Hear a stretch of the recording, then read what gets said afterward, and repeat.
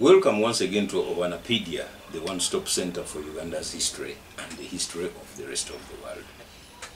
Again, it is Tony Geoffrey Owana, and in charge of the technologies, Herbert Semiano, who has instructed me not to forget reminding you of this important item. Herbert has made t-shirts of Owanapaedia, the one-stop center. And it is also emblazoned behind with some of our messages and our slogans. It is a t-shirt worth having, especially when you want to support us. Many of you have expressed interest in supporting us, and this is going to be one of the ways. Herbert says it is only 35,000 shillings, and when you convert it into dollars, it's very small money.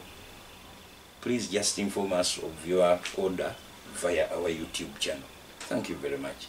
The t-shirt is good. This is mine. And I paid for it.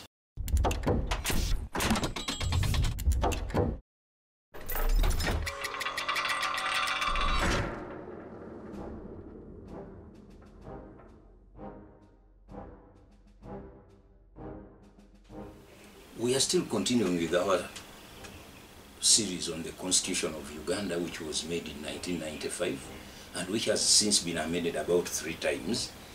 And I'll tell you straight away that our past constitutions have a rich history also. The first constitution we did, the one that led us into independence, was done in London. Our people were exported to London, and I think in that frame of mind, they made the constitution that led us to independence. I remember Dr. Besigye joking that some of the delegates who came from Kigezi to go to London came back speaking Ruchiga with a, a, an English accent and saying they needed a translator because they no longer understood Ruchiga. That was Dr. Besigye. Uh, but the element of it being ours was a bit eclipsed by the fact that it was done abroad, in Lancaster and in Marlborough. Still, it was a start.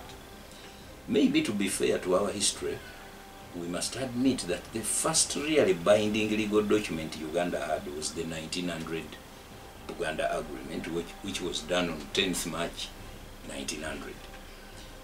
We've since crossed a lot of bridges.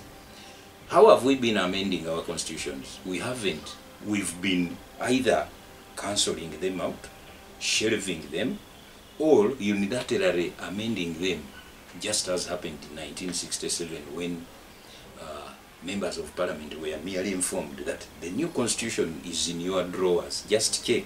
They didn't get a chance to debate things. So the first constitution we do as Ugandans was in fulfillment of one of the pledges of the NRM in its 10-point program, that Ugandans would get a chance to do their own constitution. A constitutional committee was appointed and the rest is history. But when these fellows came from the bush, they had said the new constitution will be made by the Army Council and the National Resistance Council, which is the parliament they came with from the bush. But they sat down and said, hmm, not every Ugandan went to the bush. Are we going to make our own constitution? That's when it was suggested that a new body called the Constituent Assembly is the one. But before that was reached, debate was made open. There was only one TV at that time. And in one of the shows, which was called NRM Special, which was moderated by the great Peter Swilikei Khisa, he had two guests. One was Sheikh Ishaq Kamoga of Uganda Muslim Supreme Council.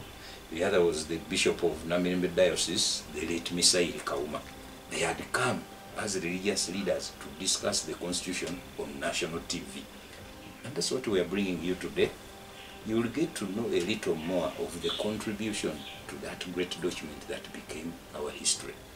That is only possible on Owanapaedia, the one-stop center for our history. Welcome back to 1994, when we are still debating what to put in the constitution.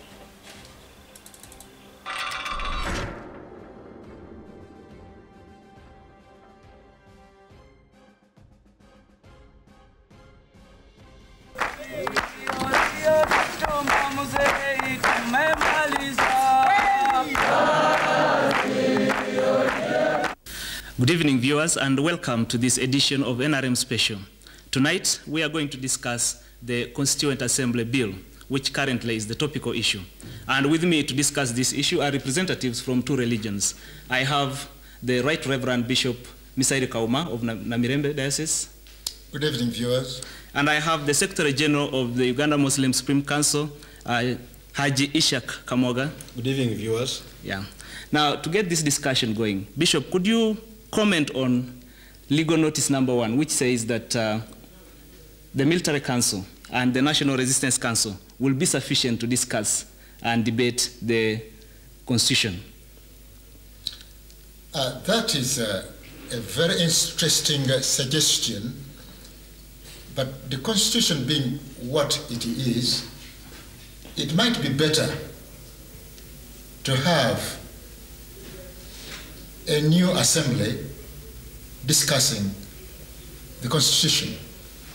Because the Constitution must have, as far as possible, no bias. We don't want the future generations to say that this was an, an NRM constitution. It must be the constitution of the people. And we must do all we can to show it's not NRM. Even if NRM has all the good intentions, it must be the constitution of the people so that it can be respected today and tomorrow and in the future, in the far future. That's what my, my, my, my feeling. Mm-hmm. But it must have certainly the guidance of NRM as the government in power. Mm-hmm. Uh, Haji, what would you like to comment about the need for freshly elected uh, representatives to debate this bill? Yeah, I think, thank you very much, Mr. Chairman. I think that we need really a newly elected House to debate on this constitution. The present NRC, for example, uh, these are members who have been elected by electoral committees from RC 1 to RC 2 and so forth. But if we have an elected constituent assembly by all the people, mm -hmm. I think that this, that will be a better representative sort of assembly than the present one. Mm -hmm. Now, what is your opinion about uh, the status of special bodies like the youths, the women, and probably religious organizations? Do you think that this assembly uh, should constitute special representatives of these organizations or bodies? I think, if possible, all functioning organizations at the moment, where possible, should be represented so that they can speak as organizations representing that special interest in the community. Um, because if you chose someone to come, not at, at a representative of the youth, he would speak generally. But if he's youth, he would specifically make points that uplift the well-being of the youths. For example, if you had religious leaders there, they could speak on behalf of religion in the country. Whereas if you had a religious man like uh, Hajj here, represented the community uh, from his village, he will have no mandate to speak for Muslims. Whereas if he went as a Muslim representative, he will make sure that what the interests of the Muslims are in the country are represented in the constitution, and so would the Christian. But Bishop, if you were to be elected from Namirembe, would it be possible for you to talk purely as Misaeri Kauma different from uh, being a Christian and a Church of Uganda Christian at the, at the same time?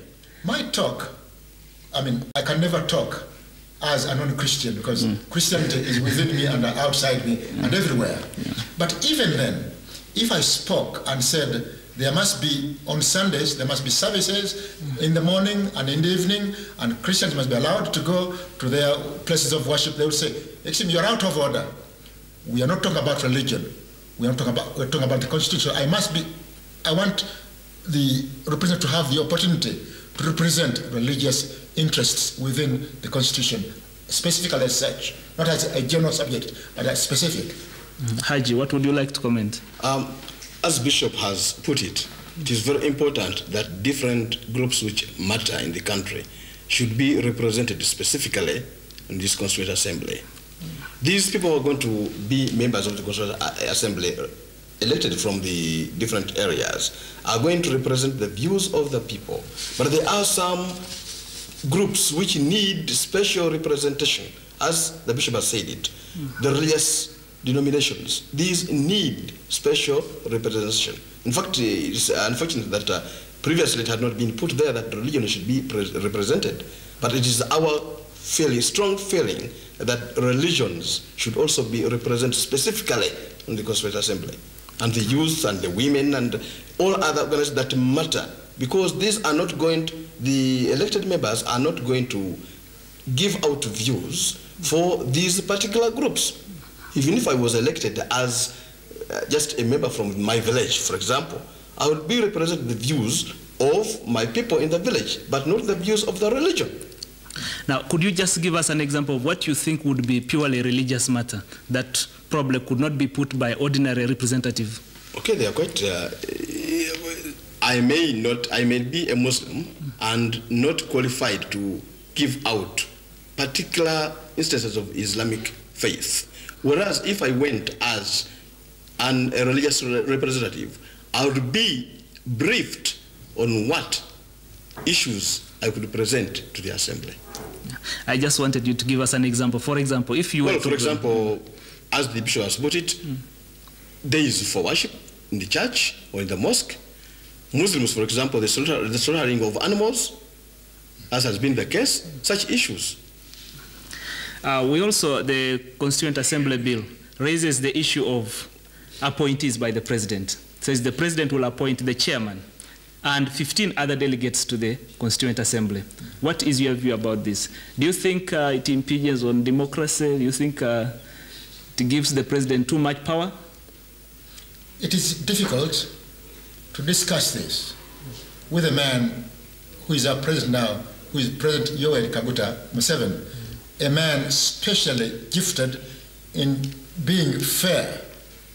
But we want to when we discuss it, to move out of individual names mm-hmm. and talk as if there was no name mm-hmm. to discuss.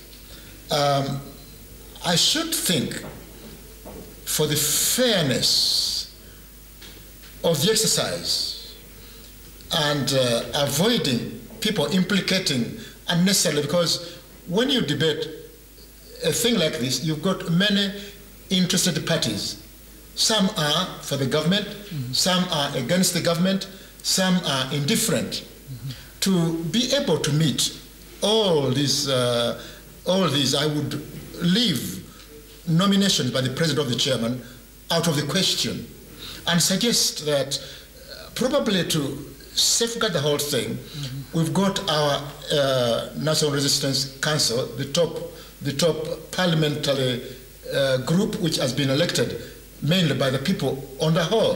Mm-hmm. Perhaps the chairman of this should be elected by the whole NRC council, the parliamentary group, which we have now. Uh, which I mean, the president is part of that. But I, I would rather it comes from a group as a whole rather than from the president as an individual to avoid misunderstanding. Uh-huh. Uh, Bishop, what you are saying is that you have nothing against the president appointing people in principle. But you just are worried about some kind of uh, discontent arising out of such an exercise, and you would therefore prefer that yes, I, would, I mean, if we avoid another, this. Another president, I don't know, but a man we've seen is, the way he's, he's acted for these seven years, mm. and I think for him, as a, his caliber, I would not doubt. Mm-hmm. But for the sake of being fair and just, and to avoid unnecessary accusations, I would rather the Parliament did elect the chairman. And if not the parliament, it could be if we, when we've elected all the constituent assembly for the constitution, that out of their number, they meet with guidance and they choose a chairman. That's another, another possibility. Yeah, Haji Kamoga, what would you like to comment on this? Really, I share the same opinion. Um, we have got a man, our president, who has fought for his nation, who has the interest in the nation and if he chose a chairman of the Constituent Assembly, I think nobody would quarrel about that. But anyway, as the bishop said, to safeguard grumbles from different sections of the nation, and that perhaps he put their chairman to guide the, the, the, the assembly towards the, the, the, wishes of the president and perhaps of the NRM. Mm. That's the only reason why I would suggest also that uh, either the present NRC in their sitting elect or appoint a chairman of the Constituent Assembly or the members after the elections of the Constituent Assembly they sit together and among themselves, or even from outside, they can elect somebody from outside, not among themselves, elect the chairman for that assembly. Now, do you think this view, which you both of you hold, that uh, the president is held in high esteem and that the majority of the population would respect his nominations, why should we have fear of maybe a small minority being discontented about such uh, a move where the president appoints or some nominees? The constitution is much wider than a government because it represents everybody. That's why I would rather have something that nobody will question, even the strongest opponent of the present government. Is that possible, Bishop? Do you think we can have such an ideal constitution that everybody, the 17 million of us, will be in agreement?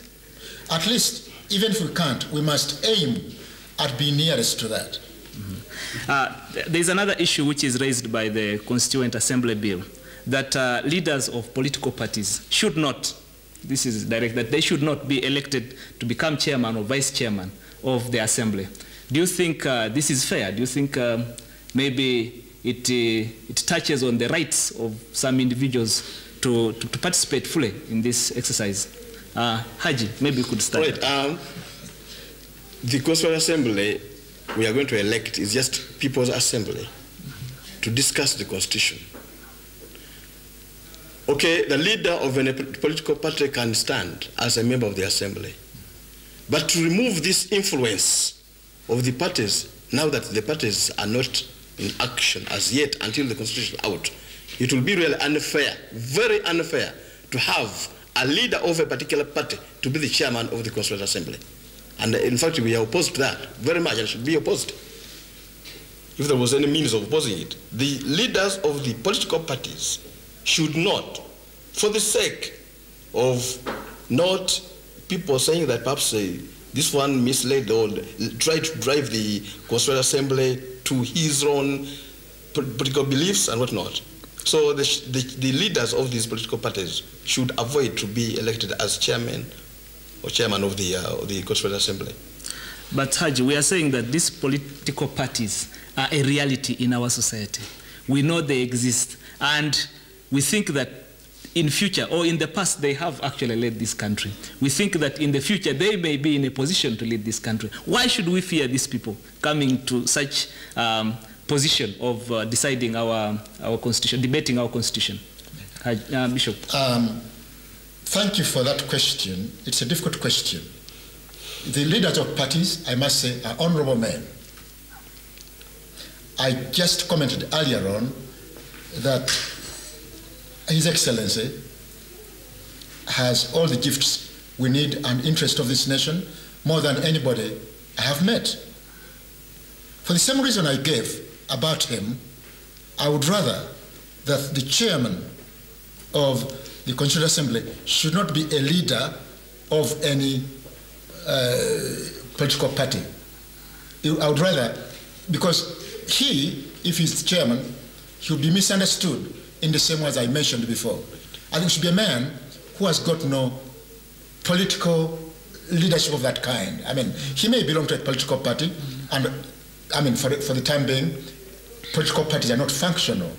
But even then, we know who the leaders are. So I think the leaders should not chair because, you know, political parties are like, uh, I don't know, I don't they are so strong, the love of them is so strong that you cannot afford not to bias the discussion according to your this party. raises this raises also the issue of um, people representing their parties in the constituent assembly. What do you think? Do you think it would be fair representation to have people specifically from the different parties into the assembly to debate the constitution in the interest of their parties? If the parties were functional, and not under uh, a, a quiet stage, that would be different. But since it is what it is now, that was seen as important for the parties to safeguard security, the peace, and the unity of the country, that the parties so far are not functional. I would rather, when we elect the assembly, we act as if parties are not functional now, although the interests of the people in the parties uh, in many are there. Yeah, I would like and Mr. Chairman, I think uh, there's, there's also a possibility that after the making of the constitution, the present parties will have been abolished and new parties come up. Then if you come as a DP and the DP will not be there, you come as UPC, the UPC will not be, then what is the purpose? Yeah, I think that's a very valid point because the assembly itself will be debating the future of the parties. So Yes. uh, we must assume that they first uh, take a low profile and see whether they will continue to exist. Exactly. Let Yeah. the assembly come in as they come into the in, in, uh, into the parliament, present parliament. They came in as individuals on their village. Let them come in in the same way. So they should maintain the same position as they have in the NRC. I should think so. So um, the Constituent Assembly Bill also raises the issue of what they describe as contentious matters of local nature. I think I would not be very mistaken if I refer to such things like uh, the traditional hereditary leadership things, issues which are local to certain areas and to certain groups of people. The bill thinks that this should not be debated in the, in the, in the assembly, but should only be negotiated at the local level with the people to whom they are particularly relevant. What do you think? Do you think such things like um, the traditional hereditary positions of certain people should be discussed nationally in this uh, assembly bill? Bishop? That is uh, a very touchy question, and I hope my personal views on that will be understood. I've been to Bugishu, and there people take circumcision very seriously. Men circumcision.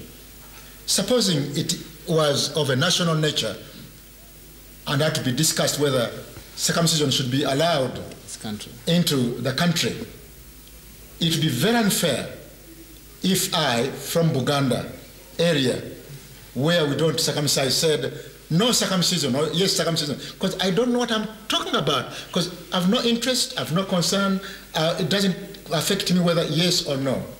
So I think on questions like hereditary leaders, that should entirely be left to areas where they affect the, the, the population and not where people are not affected or do not understand by the nature of their. It's not their fault that they had no kings, no, is it the fault of those who have kings that they've got kings. So it just happened, and, and this is Uganda, a country of variety, and we must respect the variety we have in all ways possible.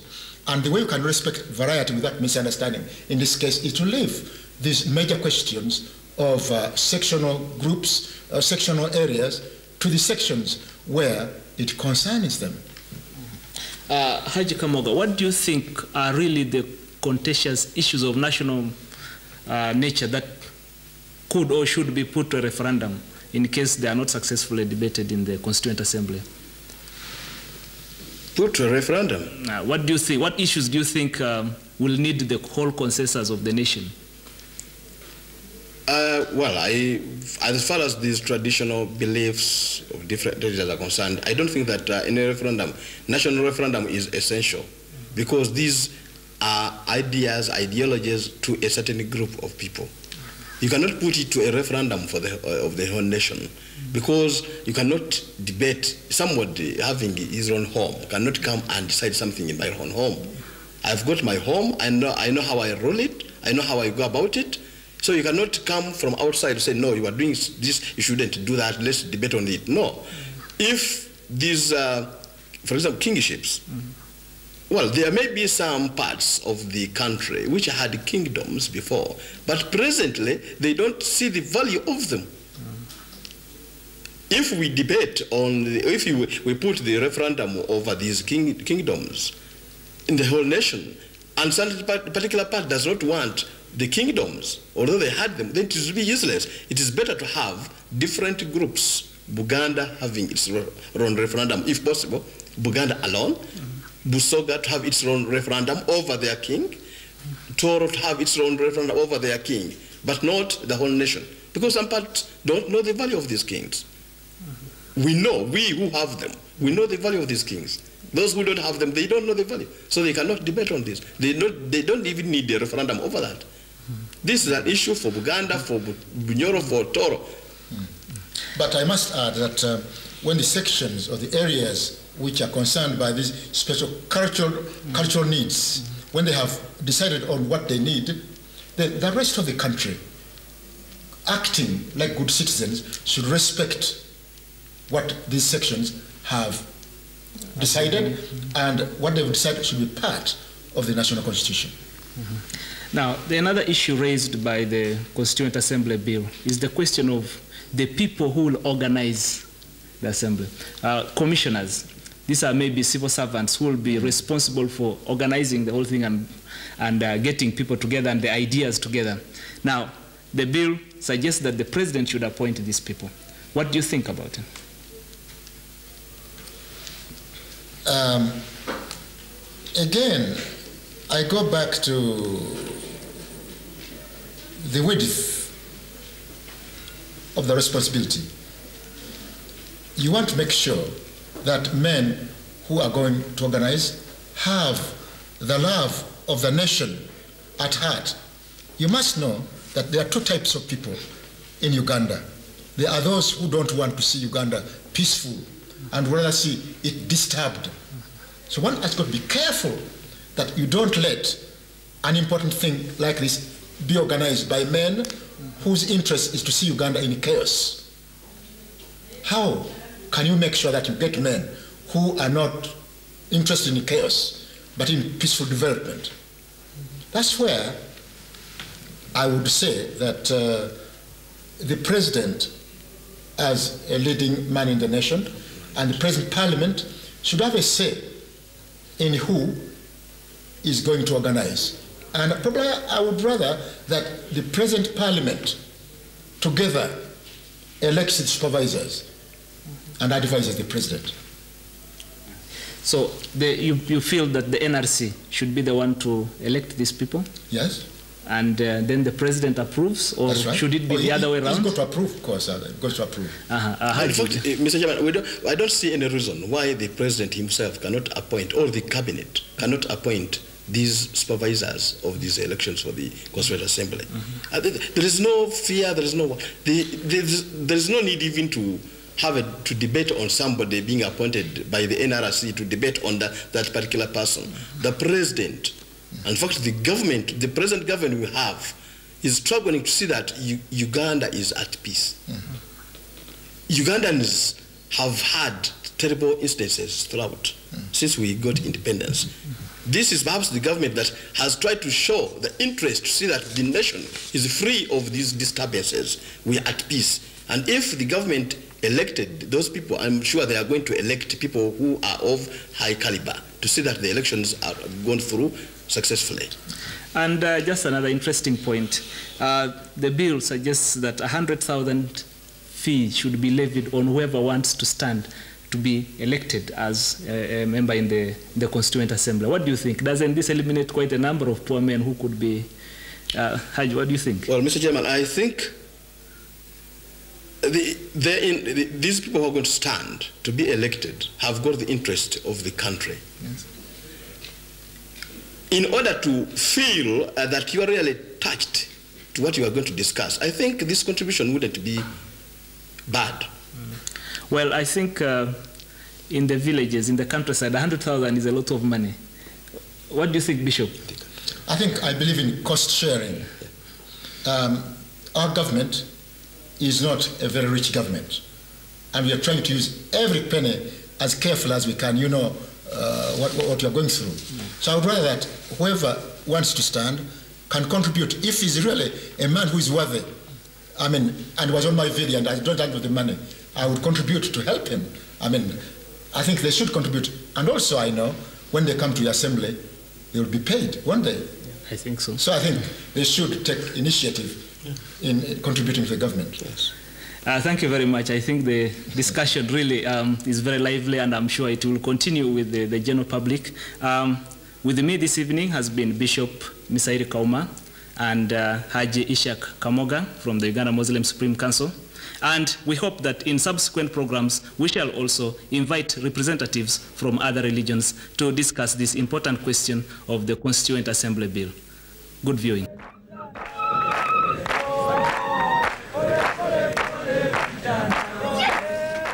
Welcome back from 1994. You've seen the ideas that were presented by these great religious leaders. And all this has been possible because Owanapaedia is dedicated to what we do. Herbert Semiano says I should remind you of the t-shirts of Owanapaedia which are going for a mere 35,000 shillings. And this will come as your support to Owanapaedia to execute what we know how to do best. Permit me to thank you again and to say don't forget to subscribe. Cheers.